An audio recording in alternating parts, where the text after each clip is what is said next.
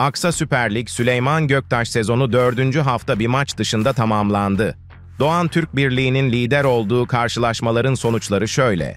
Mausa Türk Gücü 1, Yeni Cami 1, Çetinkaya 4, Tremeşeli Dumlupınar 1, Cihangir 2, Gençler Birliği 1, Alsancak Yeşilova 0, Esentepe 0, Lefke 2, Göçmenköy 0, Mesarya 3, Karşıyaka 1, Gençlik Gücü 0, Doğan Türk Birliği 1.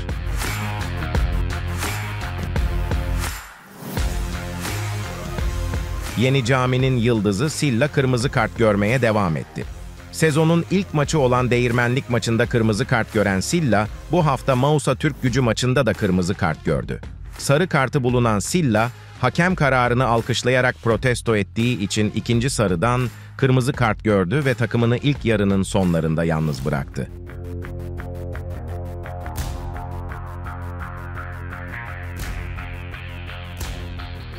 Avrupa'nın en yaşlı ligleri açıklandı. İlk 3 sırada Yunanistan, Türkiye ve Güney Kıbrıs bulunuyor. Yunanistan Süper Lig'inde yaş ortalaması 28.2 iken Türkiye Süper Lig'inde yaş ortalaması 28.3 oldu. Avrupa'nın en yaşlı ligi olan Güney Kıbrıs'ta yaş ortalaması ise 28.6 oldu.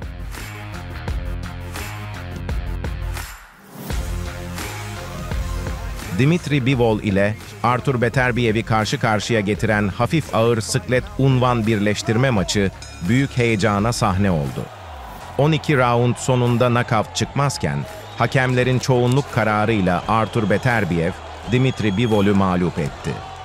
Artur Beterbiev böylece Roy Jones Jr.'dan 25 yıl sonra hafif ağır sıkletin tartışmasız ilk şampiyonu oldu.